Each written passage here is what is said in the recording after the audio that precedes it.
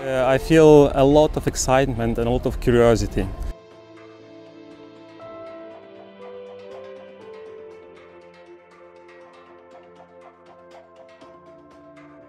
It's not just about us sailing to Antarctica, but it's about discovering new things and trying to understand the impact of the global warming on our climate, on our ecosystem.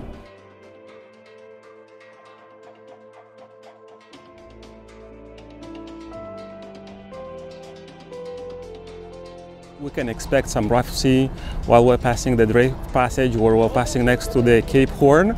Um, can, we can have big waves, we can have some storms, but at this stage I don't, don't, don't feel any fear.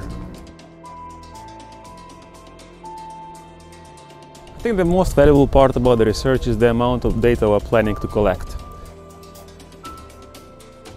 I wanted to, to show to other people that are not professionals, that are not scientists, that even when you are not, you can have an impact. So I want to show the example that any of us, if we're conscious about climate change, can do something. All of us, we shouldn't be afraid of taking the risks. As long as the risks they are well calculated, we should go ahead, experience new things, take those risks and discover new things.